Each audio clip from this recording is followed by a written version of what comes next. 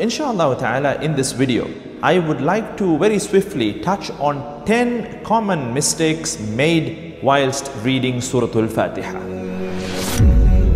Assalamu alaikum wa rahmatullahi wa barakatuh. My dear brothers and sisters in Islam, Surah Al-Fatiha is considered a very important and from the opening integrals of a salah of prayer.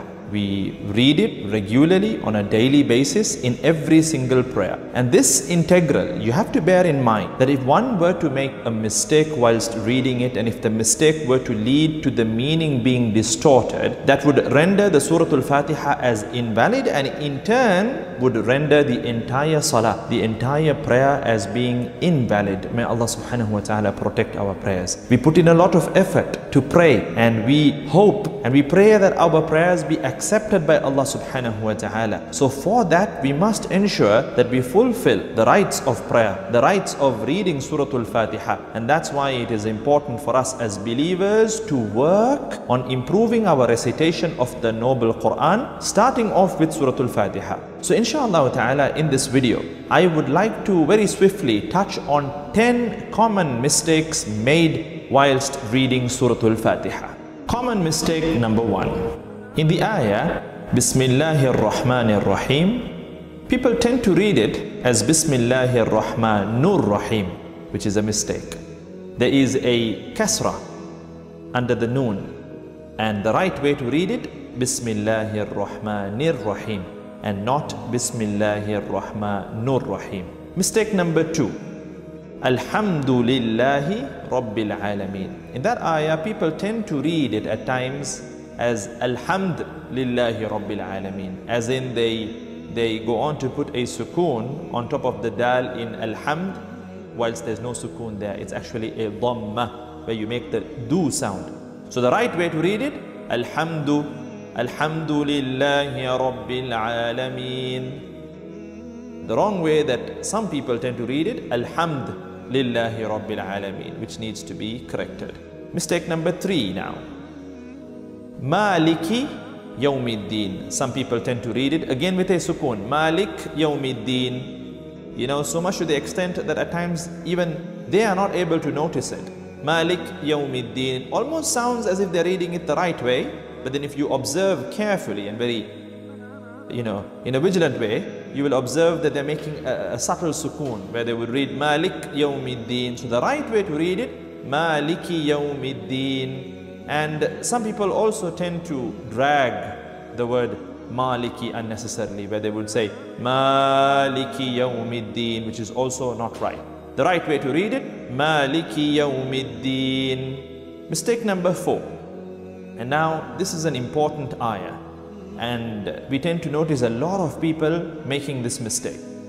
The ayah that needs to be read as Iyaka na'budu wa Iyaka. You know the word Iyaka, there's a shadda. So there's this layer of emphasis. Iyaka, Iyaka. But people tend to read it very loosely. They read it as na'budu wa Iyaka nasta'in, which entirely distorts the meaning. It changes the meaning from the right meaning, which is, Ya Allah, you alone we worship and you alone we seek help, it changes it from that to, O sunlight, we worship you, O sunlight, we seek help from you.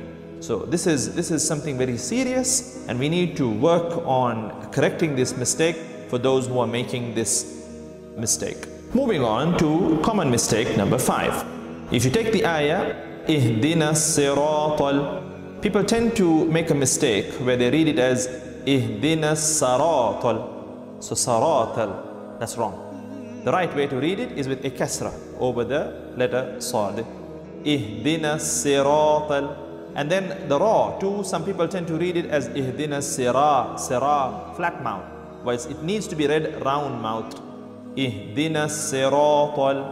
Ihdina siratal. Common mistake number six in the ayah alladhina. People tend to read it with a Z sound. Allazina, Z whilst the right way to read it because the letter there is the letter dhal you need to read it alladhina alladhina and another mistake that people tend to make is with the word alladhina and an'amta they tend to join the two words unnecessarily when reading and they read it uh, like reading one word alladhina an'amta alladhina an'amta. The right way to read it alladhina an'amta. So basically الَّذِينَ أَنْعَمْتَ عَلَيْهِمْ الَّذِينَ أَنْعَمْتَ First Hamza and then Ain.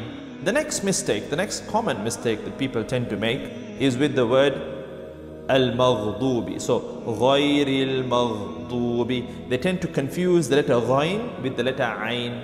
So they tend to read it غير المغضوب, which is wrong. The right way to read it غير المغضوب, غير المغضوب. And then the word dubi, al-maghdubi, the part dubi, they tend to read it as lubi at times or dubi with a dal or a lam whilst the right way to read it is with the letter Dad. So, غَيْرِ الْمَغْضُوبِ عَلَيْهِمْ And the last mistake towards the end of the surah that people tend to make is with the word وَلَضَّى So there, at times it is read as walad with a dal or walat with a ta.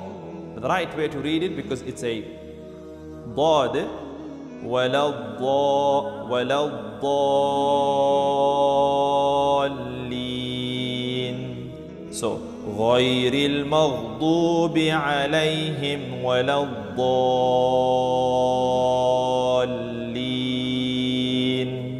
so as you can see there are common mistakes that we tend to make when reading Surah Al-Fatiha and given that Surah Al-Fatiha is an integral it is upon us. It's a work in progress and it is upon us to improve our recitation of Surah Al-Fatiha.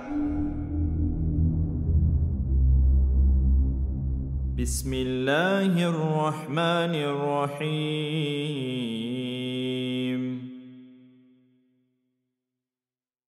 الحمد لله رب العالمين.